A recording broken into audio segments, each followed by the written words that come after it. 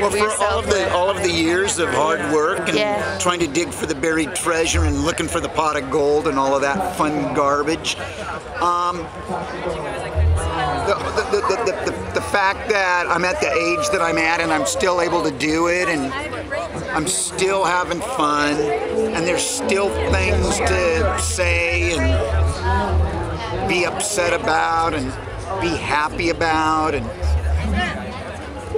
being able to come and play these kind of events and all of these people and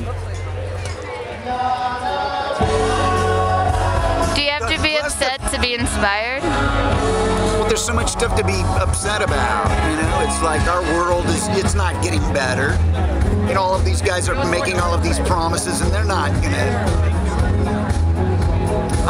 Pessimist and it's like I- I'm looking for that light of hope. It's like here we are in the black tunnel and like let's let's hope that there's there's a light at the end of the tunnel as cliche as that is as corny as that is.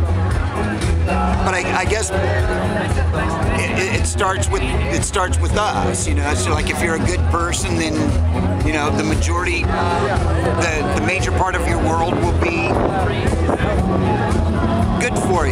Doing good. Yeah. Doing good. Okay.